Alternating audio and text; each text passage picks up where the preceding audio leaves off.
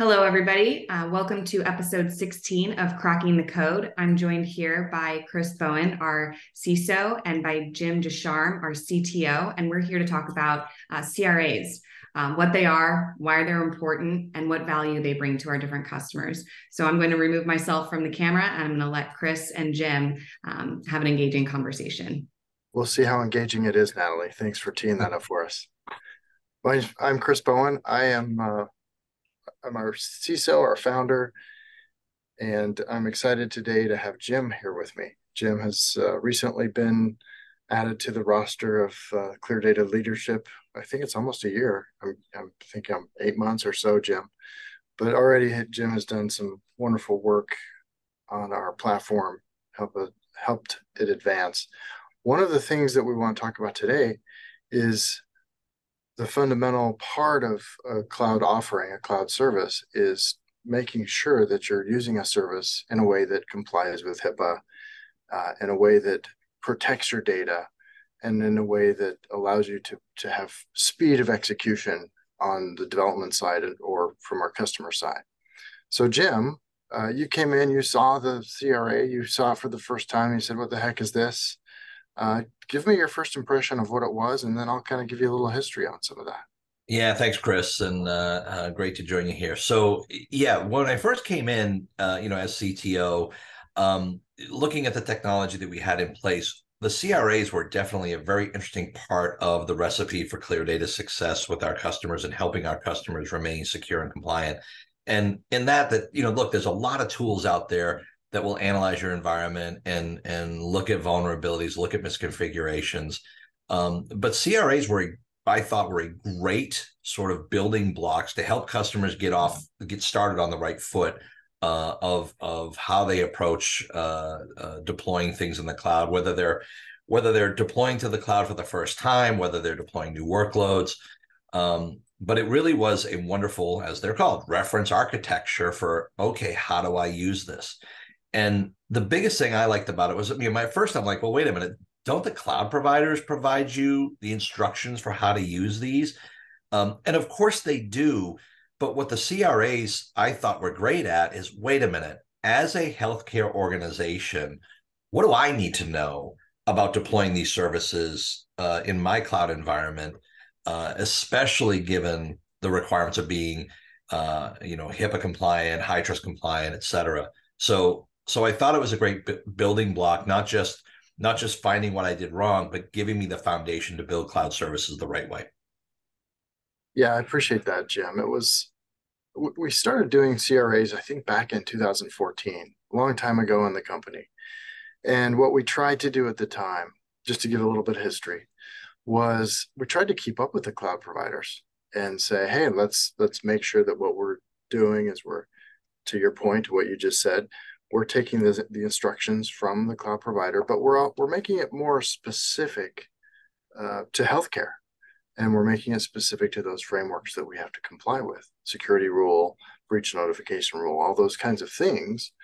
And what we found out was we couldn't keep up, and uh, and so what we've started to do is work with our product team, uh, Jim, your team, to make sure that we uh, create the ones, create the CRAs that our customers are really uh, demanding in some cases. And in other cases, for example, with AI, we know we've got to be ahead of it uh, and do it in advance of what the, the cloud providers might do. So a couple of those examples include Bedrock and Falcon 40B on AWS and OpenAI with uh, with Azure. Uh, and, and our customers have really taken advantage of some of those those CRAs. You recently worked with Machinify, one of our customers, on an AI deployment. How did the CRA help with that? Yeah. Effort? Yeah, see, that was very interesting. So, you know, look, a lot of people, just about everybody's looking at at uh, uh, generative AI capabilities and how it supports their business. What was you? What was interesting, and I'm finding more common with companies like Machinify, they were they are an AWS shop. So everything that they've done to date has been AWS. And when they wanted to break into AI, they looked at all all the three major cloud providers aws google azure at their ai capabilities. And their determination was that microsoft azure's open ai technology was best suited for what they wanted to do. But keep in mind they're an aws shop. And and so they needed a little bit more help because you know if anybody's you know listening has has done a multi-cloud strategy you know all three cloud providers just have a lot of the same stuff but they all speak a different language and that's what i tell people like you're using the same things but even to the point of uh, in aws you have a, an aws account but in azure you have a subscription and in google you have a project they're all the same thing only different um, and so, even just understanding the different lexicons used by the cloud providers uh, is important. That's number one. But number two, especially for folks as they start to bridge uh, different cloud technologies from different providers, that was important.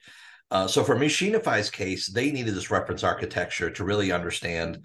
Uh, not just you know they understood the capabilities of OpenAI because that's what they researched, but now how do they again back to a reference architecture? How do they fit it into their cloud environment and how do they you know uh, in this case you know bridge things like identity controls from what they're doing in aws uh, to now moving over to moving data over into azure and keeping that one little i'll say island of phi data that may be flowing through the azure open ai how do they keep that secure when that's not what they do every single day totally i think it's funny jim i have that translation table of what am I speaking today?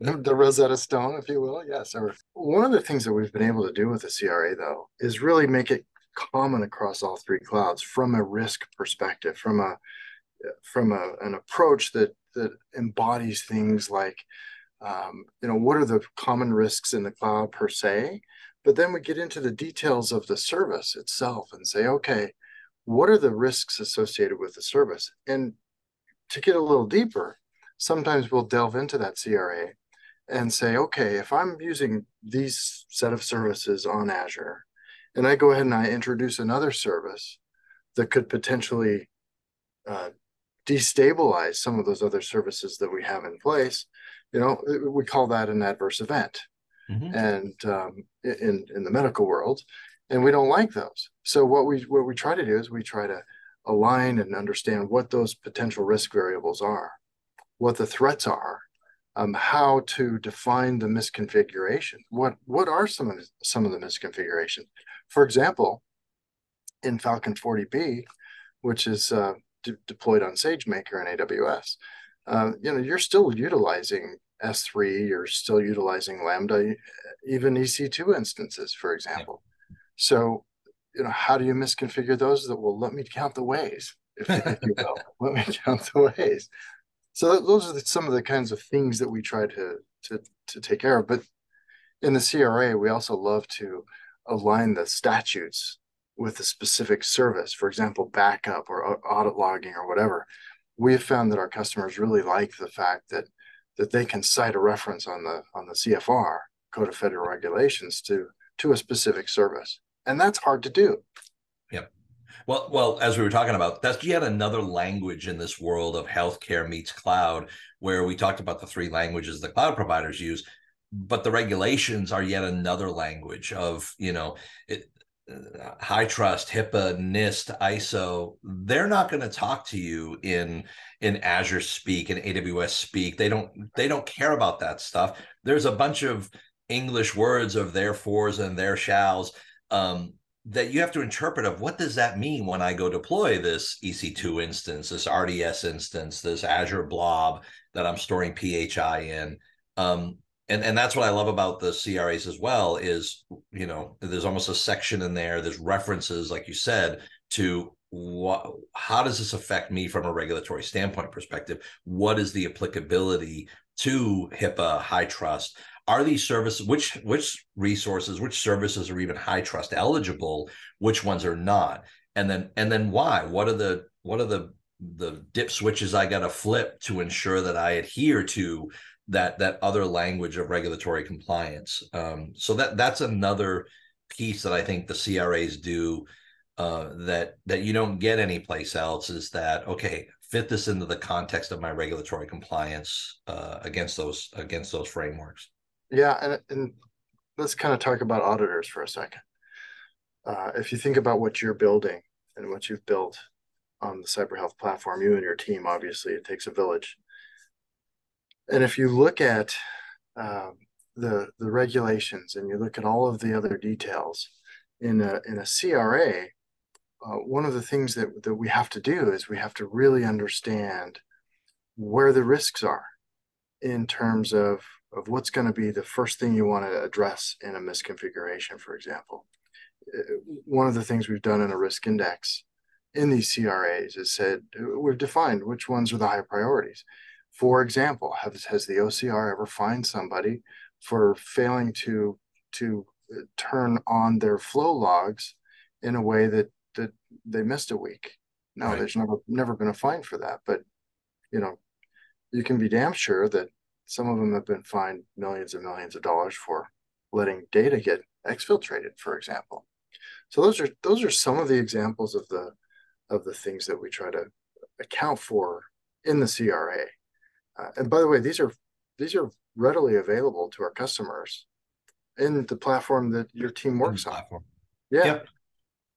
Yep. And, and I think, you know, back to the auditors, it's a, a big part of the benefits of a CRA is the explainability, right? Is having a common, yet another language that you can point when the auditors come in and say, "Show me how you're demonstrating control of your environments and and being uh, eligible."